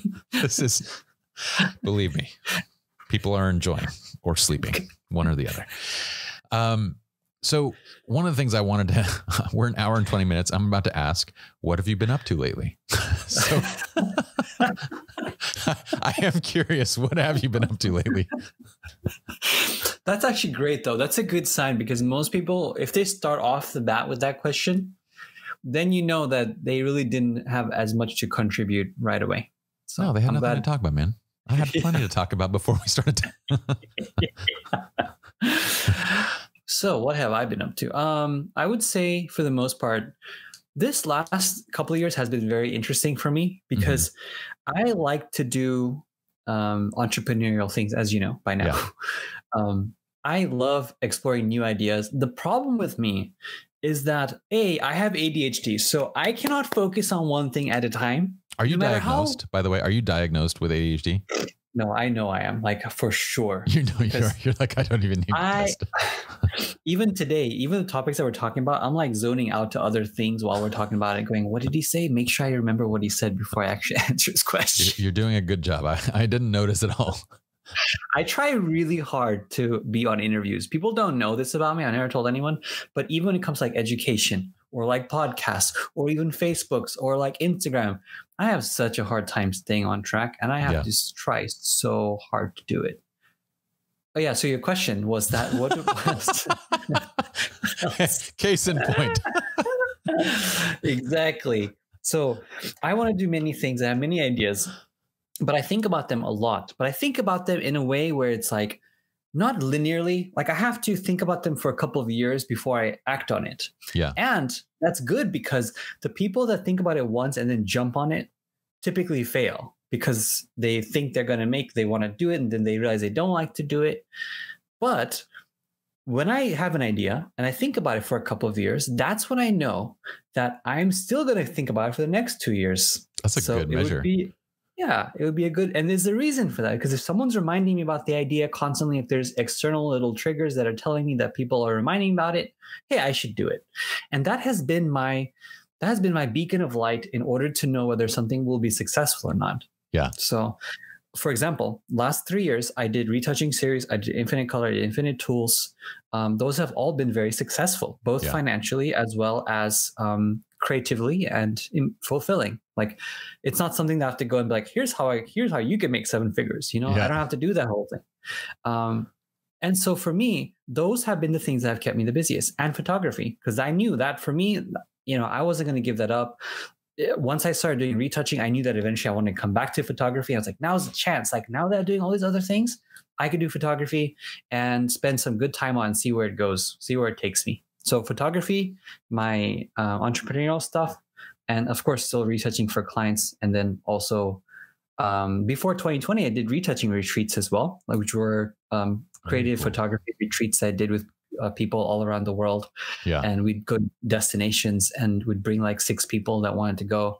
And um, it started becoming this whole thing where people were like what are you doing next retreat? Where is it going to be? Yeah. And we couldn't do it this year but uh, next year i'm going to do more of those for sure that's so cool you know one of the things that i loved is recently i actually asked you um, I think it was about if you could take on more retouching work, and you said you said yeah. no, and yeah. I actually uh, uh, very much respected that. I was like, dude, that's uh, like in my opinion saying no to things especially once you start becoming successful at something um, or multiple things like you have saying no becomes far more important than saying yes because you start getting yeah. presented with a lot of things and you can get distracted very easily so yeah. i was in my head i was like good for you, man. Like that is that is absolutely awesome to to know like what you want to be focusing on and to be able to say no to the products that you don't want to do. I I just feel like especially as artists, right? We we come into the industry with this starving artist mentality.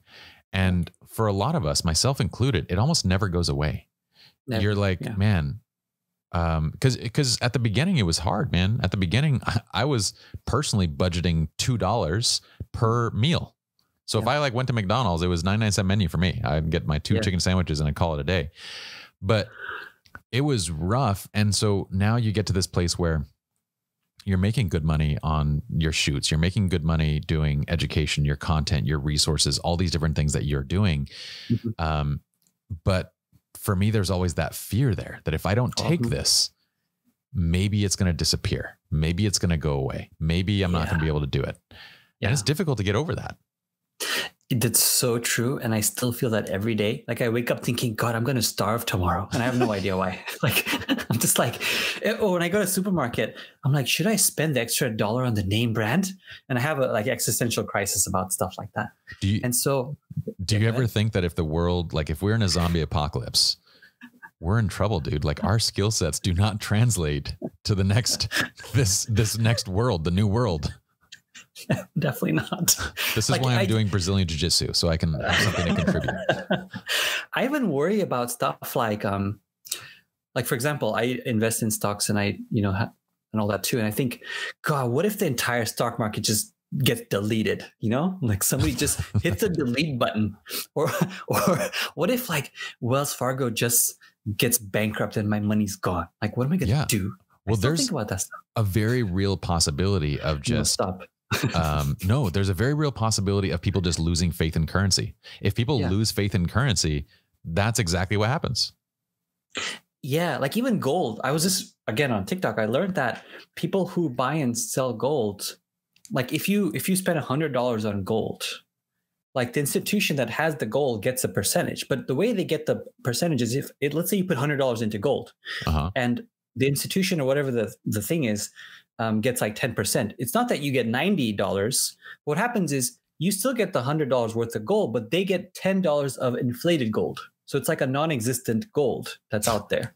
So what, what they found is that there's more fake, well, there's more like uh, imaginary gold value out there than there's actual physical gold on earth now. Oh my gosh. So it's like gold it's like that, you know. It's it's kind of it's what all that feels like. Fiat currencies, basically. It's all yeah. It's my so my background is business and economics, and I find this stuff so fascinating. what scares me most about this current environment right now mm-hmm. is it feels like we're printing our way out of a very real recession. We're printing yeah. money. And what happens with that is either you have massive market corrections, which yeah. there should have been by now, but we don't like everything yeah. is just going up. Yeah. And if that's the case, if everything just keeps going up, then you end up with massive inflation. So your dollar is now worth 75 cents. Yeah. and we're seeing that because I'm looking around at homes around here. Yeah. And I, I, I just did a search for a five bedroom home in Irvine. There's not a yeah. single one. There's not a single five bedroom home available in all of Irvine. What? Does that not blow your mind? And and these homes are selling at like four hundred to five hundred dollars a square foot.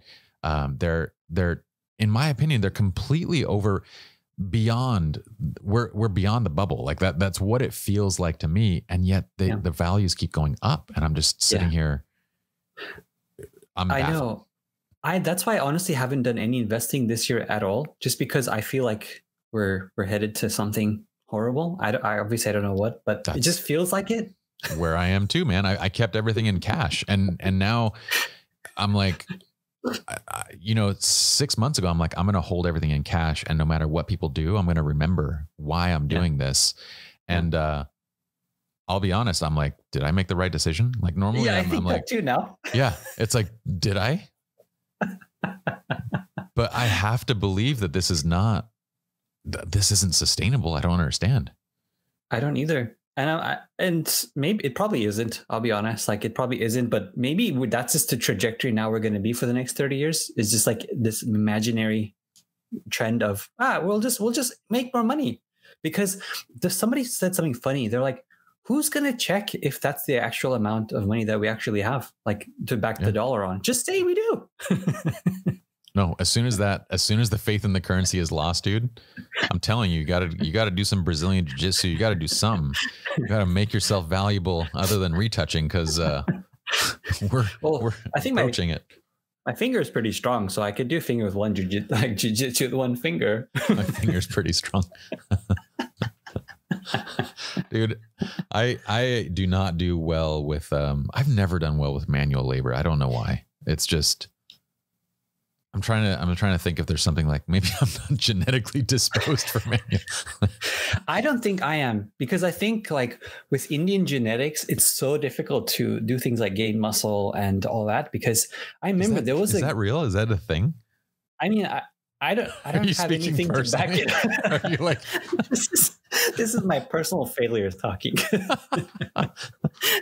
I get I remember giving it like two full years of just trying my hardest and I did pretty good But then I would see people who gave it like a year and they were just incredible. I'm like thinking, damn, that's my genetics.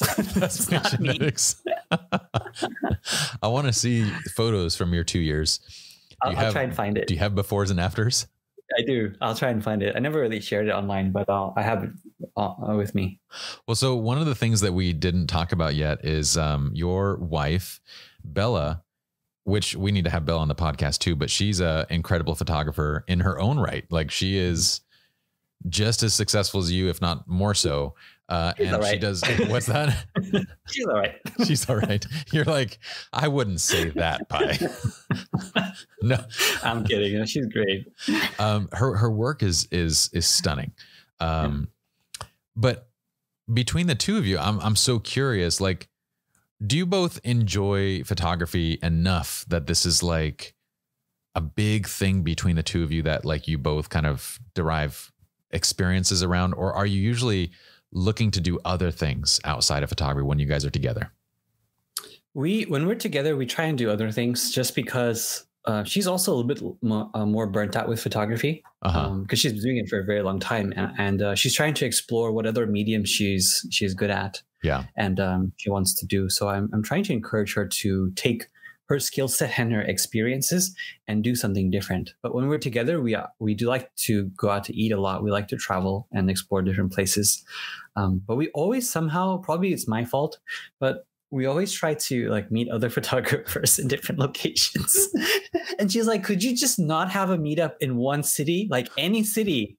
Just don't meet photographers just but i'm like but it's the coolest feeling in the world like going to the remote island of bali and being like who's in bali in this place? And they're like me. I'm like yes i found someone. How when could you ever do that in history? Just that's true. just traveling for 50 hours somewhere landing and being like hey who wants to have dinner? Like how could you, who you know i can i can see both sides of this argument I, I understand what you're saying, but I also know where Bella's coming from. True story, by the way. Like everywhere I'd go, even if she's there or not, I would land no matter how tired I'm. Like, who wants to get coffee or who wants to go meet up? And then like I'd meet some of my best friends that I still have today, just because I did that. And uh, and I never take for granted the network that I have and the reach that I have. But do you feel like a lot of people that go to the meetups and a lot of people that want to meet you just want to get something from it? Oh, definitely. I, I, that's that's a clickbait. I'm like, yeah, come learn things, and then I'm like, hey, I want to learn oh, things about you, you actually, instead. wait, do you actually put it out there? Like, come learn something? no, no, no, no, I don't. Okay. But that's the that's the um assumed assumed thing. Like, I want to meet up and have coffee. I'm like, cool. Because sometimes I'll, I'll, be honest, I, I sometimes have issues with that. Is like, yeah, I want to have a, a gathering and a get together, but I don't I don't want to be the you know Mm-hmm. I, I want to be Pye. I don't want to be YouTube, yeah. you know, Pye, the the yeah. the one that's supposed to be teaching. Like when when it gets to that place where it's like, I, have had so many of those events where it almost feels like it becomes a workshop, and I'm like, yes. this is no longer relaxing. This is. Mm-hmm. This is like I just want to hang out with you guys and talk. Like let's yeah. I don't want to be teaching a workshop right now. Yeah. But that's so often the way that I feel like it goes. But I think you can also lead it there too, and I I know what you mean. Like it definitely goes to goes there at some points, but then I always it becomes like a podcast where I start asking them questions about things that are not related to it. Then the conversation automatically just shifts in that direction. Yeah, when they have stuff to talk about, but sometimes yeah, they don't. They don't, and then you're like, shit. Well, I gotta go. like you, your food hasn't come yet. it's like, oh, that was for you. Enjoy it. that was for you.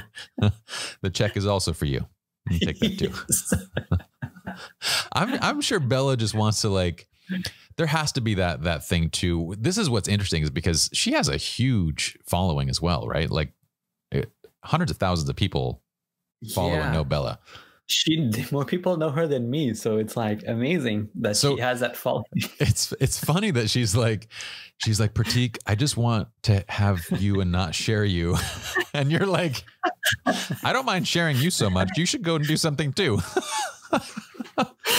It's funny yeah. Now that i think about it it's probably the worst decision to do because we'd be in like romantic places like bali for example. Just like hey but then like joe's there. But joe's there oh my goodness. I, I I can see like the I can see both sides of it. I think it is fun and interesting. It'd be it'd be really fun if both of you like enjoyed it as much as, as the other.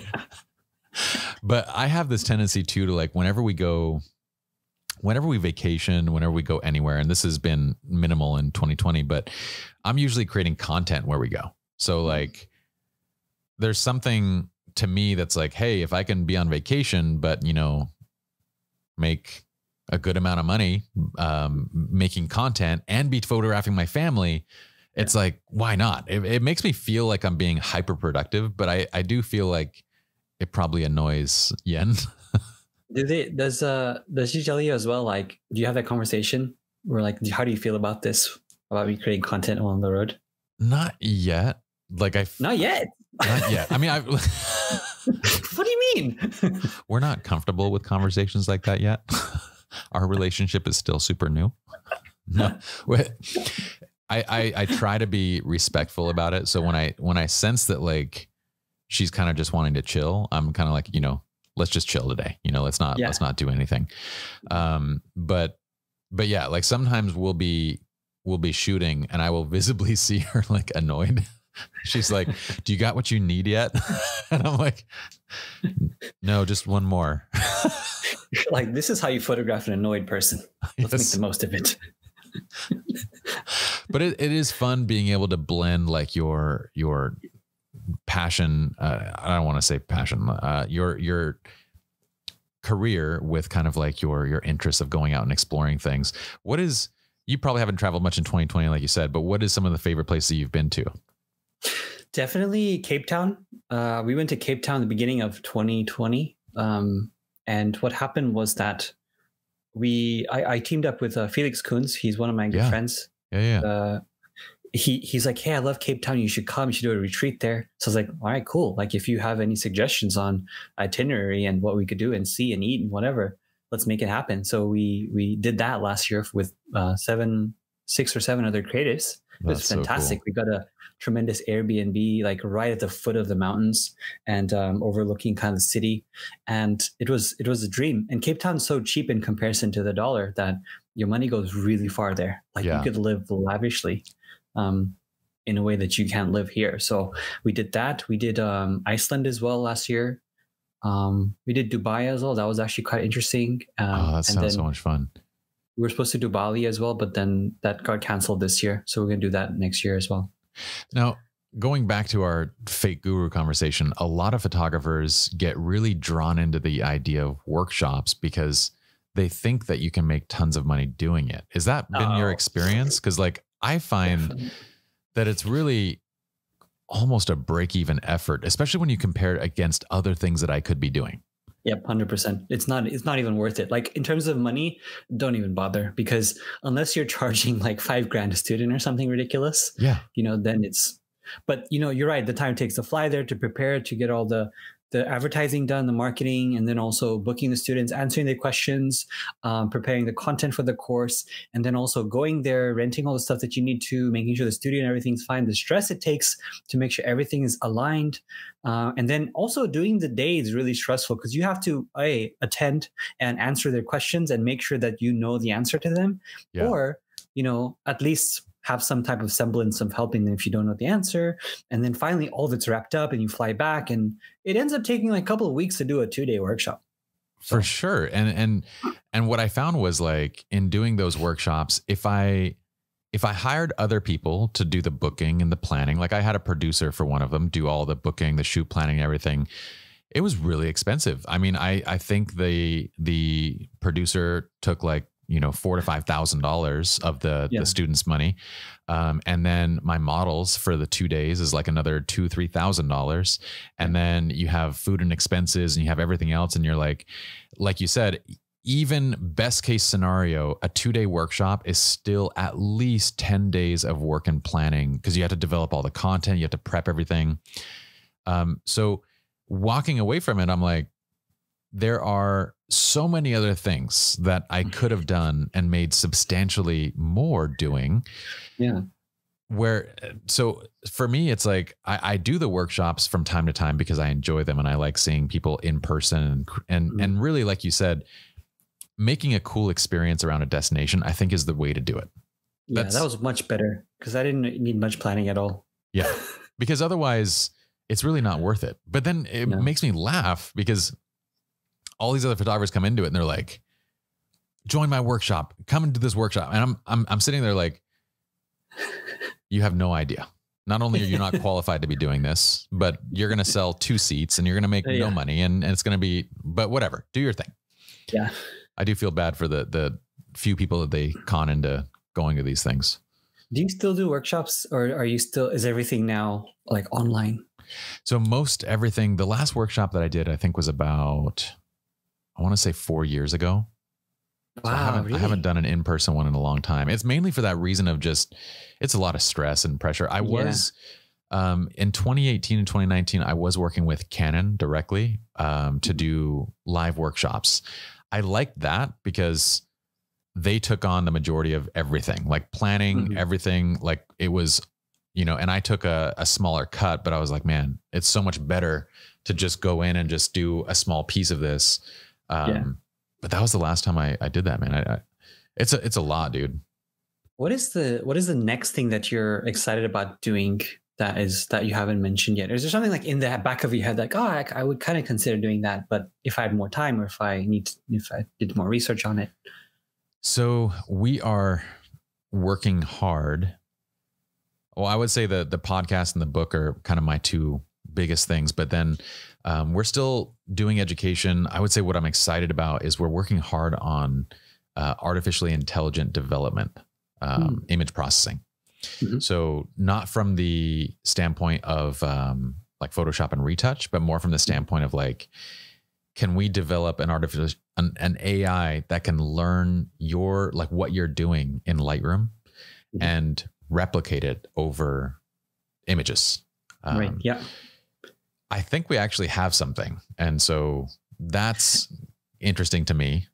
And people who listen to this get first glance at it, right? They do. Absolutely. if I remember. well, this is like the first time I've really talked about it. Um, but but yeah, there there's so if that comes to fruition, then that'll be really cool because I, I think at this point in my career, the things that excite me are things that that really either I feel like it either needs to uh, I don't like the word revolutionize. It, it either needs to change our industry and the approach to like how we do something as photographers, or it needs to be broad audience and helpful to many. Um, mm-hmm those are kind of the only two things that excite me. Like if I'm going to do anything in the photography side, I want it to be something that's impactful in the industry. And if I do anything else, I want it to be broad audience where it has application beyond uh, photography. Hmm. But that's about it. Like there's not too much that excites me beyond that now. Is that weird?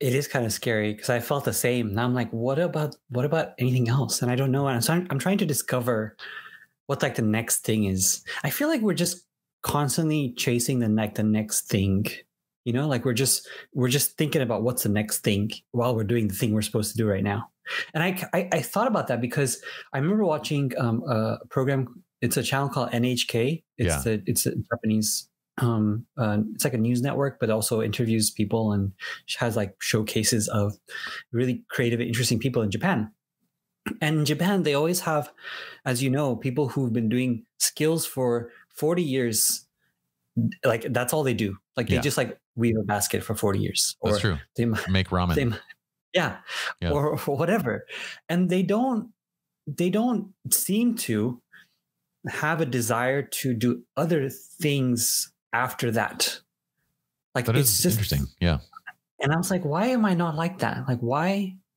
why can't i just do the one thing and that's it like why can't i just retouch and do nothing else? And why can't I be satisfied with that? Something wrong with me?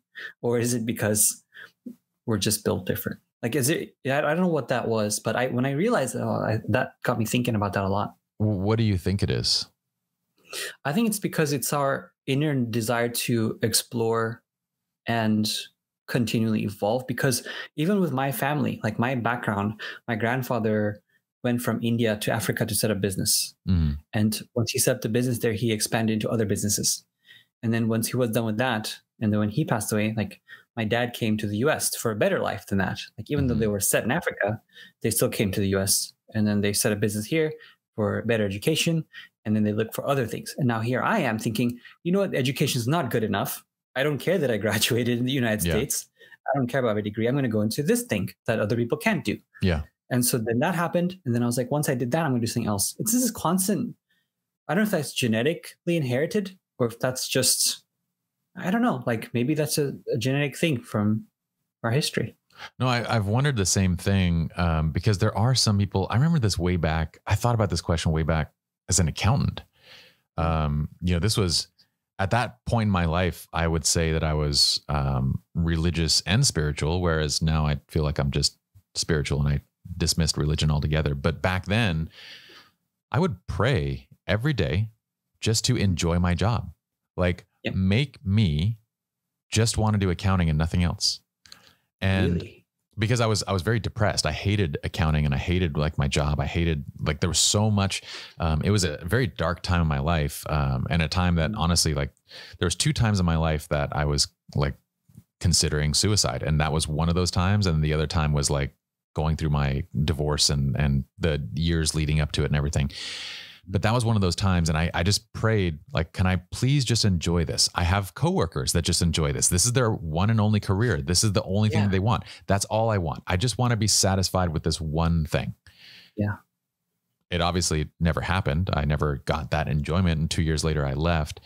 But now i'm i'm the same as you where like i guess what i've equated it back to is the times that i find the most enjoyment is when i'm on a journey Mm-hmm. Um, my personality, my my in this book, I talk a lot about core values, and and one of my core values is uh, personal development and growth. Like I want to be the best version of myself that I can, and mm-hmm. what I enjoy most about it is the process, this journey that I'm on to to from one thing to the next.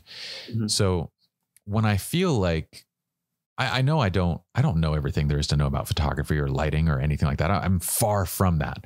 But what I have done is I've I've done what I've wanted to do in this mm-hmm. space, mm-hmm. and I feel like now it's time for something new to be back on the journey again. So whenever I feel like I'm in that space and I've done the things that I set out to do to begin with, I start getting that itch again. What's yes. what's going to be my next journey type of thing but I've wondered the same thing, and I, have honestly I've I've tried to change it in myself, and that didn't work. So the only thing that worked was embracing it. And you know what? Also, I think it is that when you're in the process or this journey, you get this sometimes or this enjoyment process.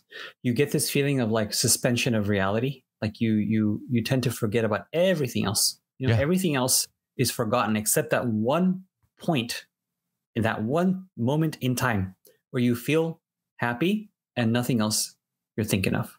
For sure. And I feel like this the whole reason why we like this journey so much is because we feel alive, we feel focused, and regardless of what that journey is, whatever we're feeling at that moment is why we're taking that journey. It doesn't even matter what that end result is. Yeah. But that's why we're taking it.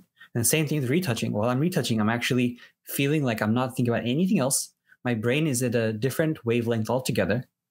And at that point, I can be very creative and think of things. Like even on this podcast, being here right now, for the past two hours, I really have not thought about things that I have to do today. For sure. Except for this one moment. And it's making my brain at a particular place where I can think of things that I would normally not think of in a way that I would would think of it normally. So yeah, that's described as kind of being in the zone, right? You get that. Yeah. You get that hyper focus, and uh, what is it called? Do you know um, the exact term? There's a I, I say the term of constantly, but it's it's that, I know what that you mean. you're in the zone. You're you're you're you're tuned in on a level where you're not thinking about anything else. And and some of the things that I love the most in in my life um, is because it gives me that. So jujitsu is one of those where like when I'm doing jujitsu, I'm not thinking about anything else. Um, same thing with this podcast. And the reason why I selected the podcast and writing and things like that is because I think this could be my ramen. You know, this yes. could be my like I I could actually do this for the next 40 years and it it fit it feeds my personal core value of growth and development and education mm. while also doing something. And I think if you if you tune into that, if you can tune into the thing that ties into your value, then you've got your ramen. You've got that one thing that you can focus on for the rest of your life. Yes. But it took and, me a long time to realize photography wasn't that. It, it was the framework piece of it. Yeah. And I think part of photography was that the part of meeting people, the part of the different stories, the part of, you know, the variety. But then with this platform, it's it's like ramen that has multiple varieties because now even though you have like ADHD and even though you want to do multiple things, this platform is very chameleon like where you can focus on people who are doing multiple things. For sure. And, and concepts. So you're so it's the same different every single time and it's perfect for us. I agree. Like I can focus on just being a good host and mm-hmm. learn from all the people that I get to bring on. So yeah, it's a very interesting thing for me. And I'm I'm curious if, you know, 10 years down the road, will I feel the same itch to be like, okay, I've done this now. I want to go do something else now. I don't know, man.